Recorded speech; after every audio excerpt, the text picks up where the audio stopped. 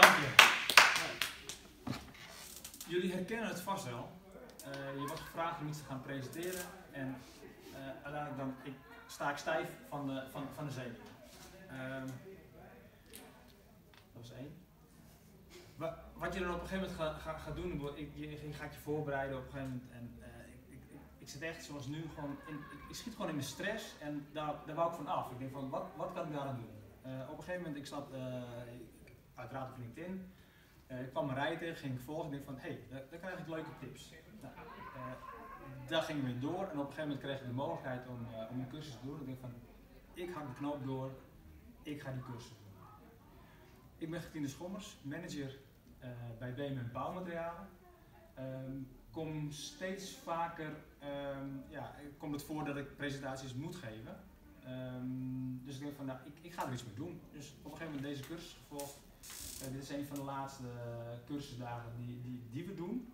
En wat ik heb eh, geleerd, ehm, is uiteindelijk dat, we, dat, ik, dat ik meer opbouw en structuur erin krijg. En als ik, als ik dat doe, eh, word ik minder stressvol en ja, ga ik gewoon zelfverzekerder presteren. Uiteindelijk zitten we hier met een hele grote groep mannen die, die elkaar ondersteunen. En dat vind ik fijn. En dan krijg je goede feedback. En ja, daar, daar doe je iets mee en ga je langzaamaan eh, beter ontwikkelen. Daarnaast eh, merk ik dat ik eh, kritischer ben naar andere mensen. Dus als ik in, in de zaal zit en iemand presenteert, ga ik dingen vanuit de cursus mee oppakken en ga ik daarop letten. Dus in de tussentijd ben ik gewoon ook bezig van, van hé, hey, hoe doet hij dit? Hoe doet hij dat? Op een gegeven moment leer je daar ook weer van. Dus dat vind ik een van de fijne dingen in, in deze cursus, dat je gewoon eh, kritisch wordt naar andere mensen en waar je dus weer lering uit trekt en wat je weer meeneemt in je eigen presentaties. Nou, dat vind ik gewoon hartstikke leuk om, eh, om te doen.